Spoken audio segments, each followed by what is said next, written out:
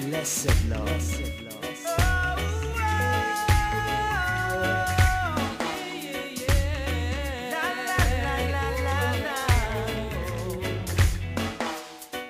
The perfect cure for badness is loveness.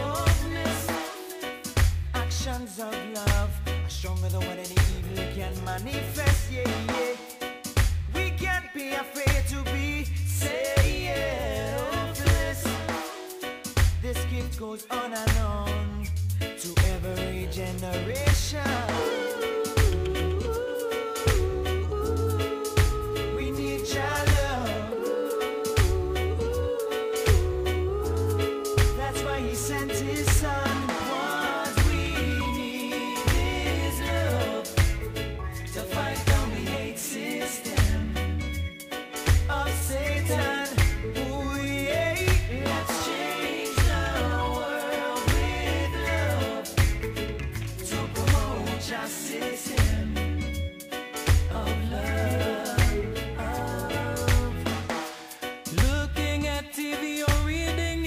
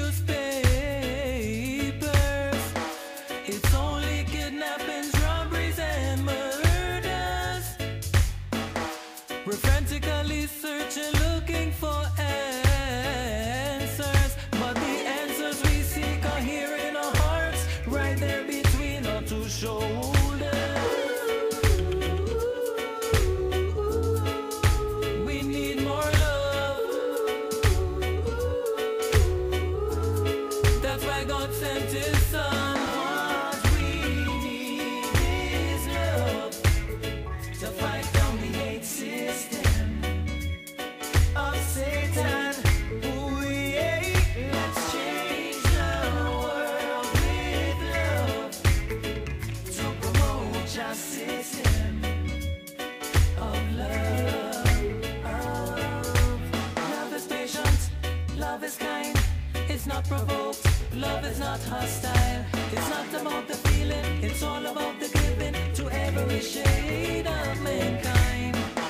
It's when we show this love that the words will cease and we find eternal peace. Jesus showed us the way to be eternally free, so the bad man will cease.